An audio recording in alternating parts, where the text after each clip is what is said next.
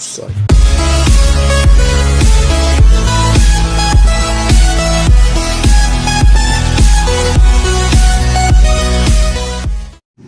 Hey guys, what's up? May bago na naman tayong video at ito na nga, gaya nga ng nasa title sa baba, nakalagay atay plus carbonara plus Oreo Graham plus egg pie. So ayun, so that means magmomokbang na naman tayo. Pero, ngayon itong mukbang na to, lalagyan natin ng twist. Gusto ko, kada isang subo ko ng pagkain, ipapakilala ko yung sarili ko. So, ibig sabihin, every subo, mag, magbibigay ako ng trivia or facts about me. So, andito na nga yung ating mga pagkain. Hindi lang kita sa camera kasi nga, ang gamit ko ay selfie stick lang or monopod. So, una, itong atay. Pangalawa, yung carbonara. Kung nakikita nyo lang, may ilaw kasi. And yung egg pie. Egg pie. Egg pie yan. At yung Oreo Graham, nilagay ko muna sa ref para lumamig. So, let's start. Let's start. Okay. Tapos ko nang i-set up yung mga pagkain. Set up talaga. Ka ayusin lang. Ayusin lang, lads. Ayusin lang. At kakain na tayo. Gaya nga ng sabi ko kanina, bawat subo ko, gusto ko ipapakilala ko yung sarili ko or magbibigay ako ng facts about me.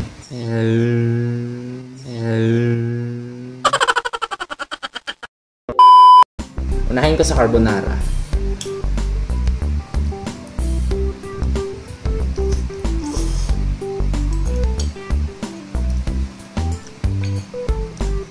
Ang true name ko ay Lance Jonathan T. Lamug. De, joke lang. Walang Jonathan. Lance T. Lamug lang. Ayun lang talaga yung pangalan ko. So, bakit ko nga ba nasabi yung Jonathan kanina? Well, nung bata ako, nung naglalaro kami ng mga, ewan ko ba kung anong nilalaro-laro na. Ay, alam ko na. Yung mga powers-powers na ganun. Mahilig kasi kami nun na maglaro ng mga ganyan, yung mga kaibigan ko, mga pinsan ko. Bawat isa sa amin, may kanya-kanyang pangalan. At ang gusto kong pangalan nun is Jonathan. Kasi ang ibig sabihin ng pangalan ng Jonathan is Gift of God. Gift of God. So, ayun yung gusto kong pangalan nun. Pero, ang pangalan ko talaga ay Lance. Ayun lang talaga. As in, L-A-N-C-E. Lance. Lance P. Lamuk. And one time, tinanong ko dati, si Papa kung ano ibig sabihin, kung saan, nila, kung saan pala nila kinuha yung pangalan kong Lance. Sabi niya sa akin noon, kinuha siya sa dalawang lolo ko. Froilan, tsaka yung isa ay Cesario. So, yung, yung Lan doon sa Froilan, doon kinuha yung Lan. Tsaka yung Cesario, kinuha doon yung Se. Kaya, Lance. Next. Next subo. Teka, iba, iibahin ko yung rule kasi ang haba pala ng sinasabi ko. So, ganito na lang gawin natin. Habang pinapakilala ko yung sarili ko, susubo na lang tayo. Diba?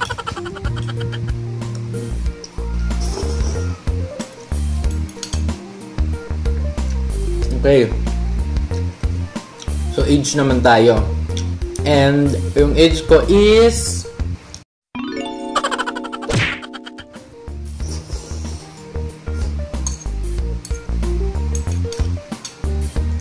I'm originally from Isabela. Sa North yon Sa North Luzon. Doon ako lumaki. Pinan pinanganak ako sa Cagayan. Cagayan naman. Actually, magkadikit lang yon Sa taas, Cagayan. Sa baba, Isabela.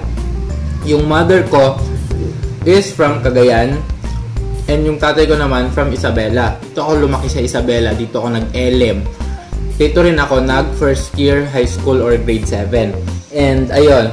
So, nung grade 8 na ako, lumipat na kami dito sa Laguna. Actually, hindi talaga ako kasama nun. Ganito story nun.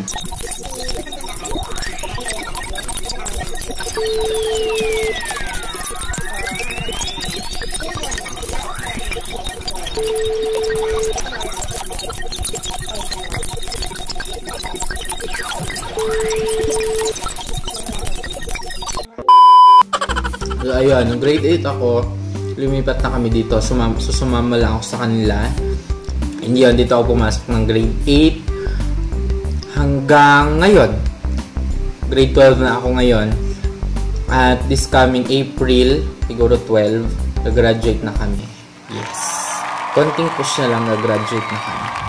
At ang strand na kinuha ko ay ABM And sa college, ang gusto kong i-pursue na course ay accountancy. Actually, ang gusto ko talaga HRM. Pero okay din sa akin ang accountancy kasi nga, sayang nga naman yung napag-aralan ko sa ABM, di ba? Ay, ayun, naalala ko. Magpapashoutout nga pala yung mga kaklase ko. So, hello sa inyo dyan, guys. Kay Abigail Alejandre. Kay Joyce Alejandre. Yung dalawang yun magtita na ang sinasabi, magpinsan daw sila. magtita yung dalawang yun. Kay Horacio Bayona, nag-comment din sa isa kong video. Ito sa'yo. Kay um, Gian Aquino. Kay Jaya Almasan or kay, kay Jenea Almasan. By the way guys, may YouTube channel siya. Kaklase ko siya at nagtutulungan kaming dalawa. Bago-bago pa lang din siya sa YouTube. Ngayong week na to, mag-upload siya ng video dun sa debut niya. And ayun, sa mga klase ko, hello din sa inyo. Sa teacher ko, sa advisors ko, si Teacher Fat, and si Teacher Ace.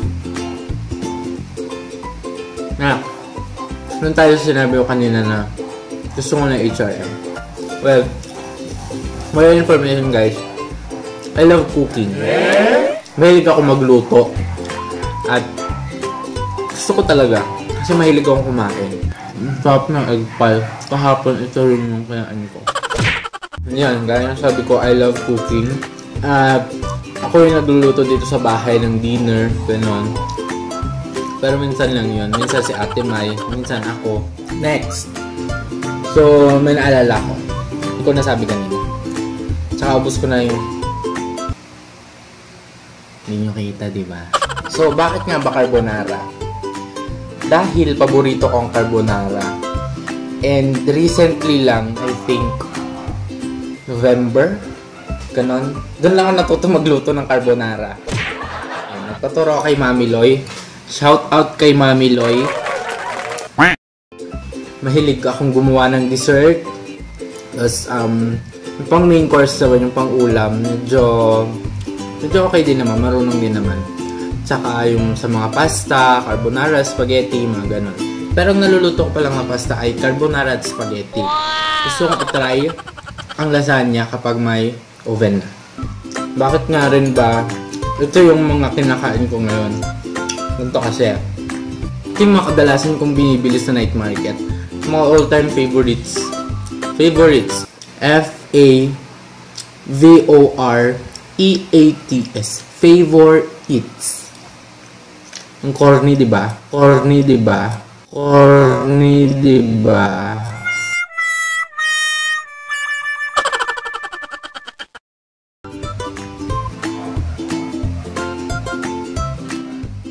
Mm. Mm, sarap. Gusto ko, gusto kong gumawa ng ganito. Siguro kapag gagawa akong ganito,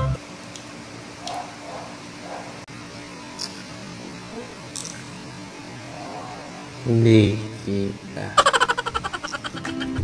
So, kapag gumawa ako ng ganito, gusto kong i-vlog.